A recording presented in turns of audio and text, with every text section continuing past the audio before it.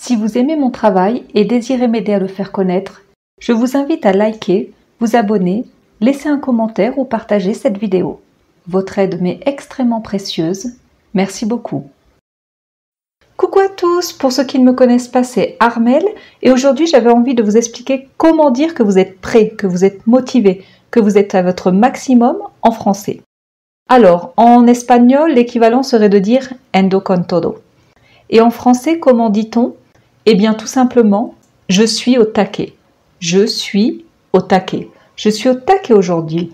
Je suis au taquet. Du verbe être au taquet. Donc, si vous voulez parler de quelqu'un d'autre, il vous suffit de conjuguer le verbe être.